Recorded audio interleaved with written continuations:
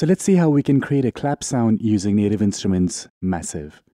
So we're going to start from scratch, so I'll click File here and select New Sound. We get this basic sawtooth tone, but for this sound we don't need a pitched oscillator, so I'll turn that off.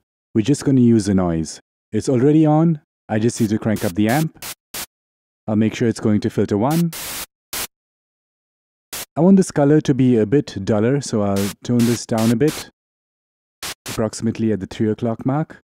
Now let's go to this fourth envelope, which is the amp envelope, and get rid of that attack, so it's nice and tight. I'll also bring the sustain all the way down, and increase the release a little bit. Also, let's set this to one-shot mode. So it goes through the entire envelope irrespective of how long I hold down the note. So now this sounds more like a snare, but to make it sound more like a clap, we need to change the attack a bit. A clap won't have a clear-cut single attack like this. There will be multiple peaks, because there are multiple people clapping together.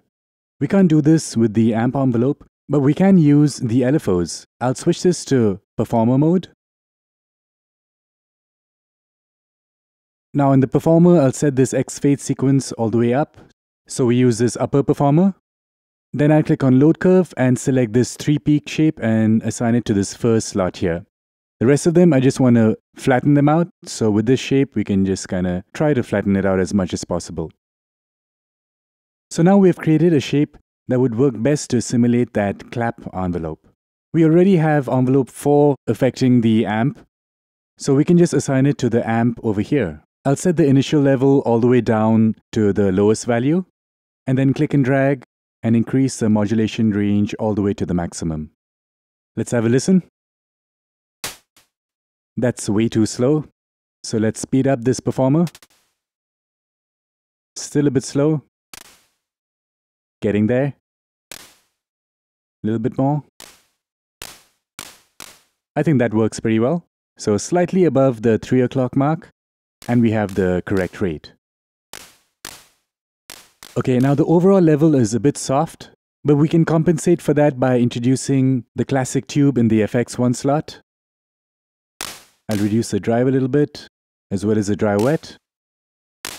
You can hear it's a bit louder now. Also in insert 1 here, I load in the hard clipper. Much louder, a little bit more body. I'll tone down the drive and dry wet. As you can see in the routing, the insert 1 is placed right after filter 1. We could give the sound a bit more space. So in FX2, I'll add the dimension expander effect. I'll bring that size down a bit, as well as the dry wet. Now we have this nice stereo effect. I feel that Performer could be a little bit faster. So I'll increase that rate ever so slightly. I want that to be a bit more smooth. Don't specifically want to hear those three peaks.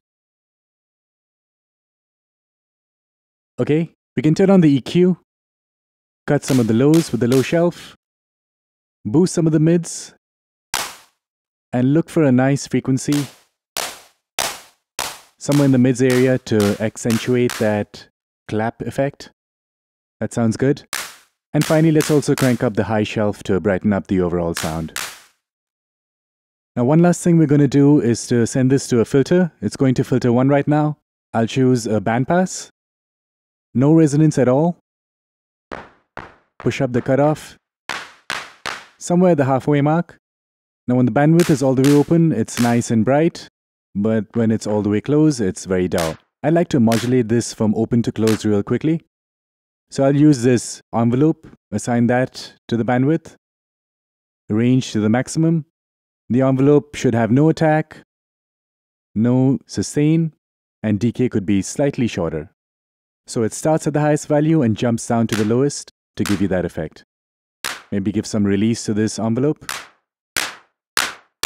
Alright, so let's hear this in context of a beat and then we can finesse some of the controls.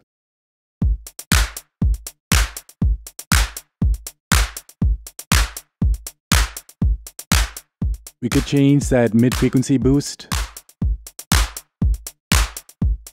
The dimension expander could be a bit bigger. You can also play with the noise color. That's bright. That's a bit darker. You can play with the cutoff on the filter.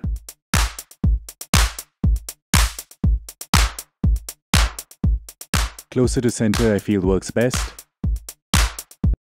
So there you go, a clap sound created in Native Instruments Massive.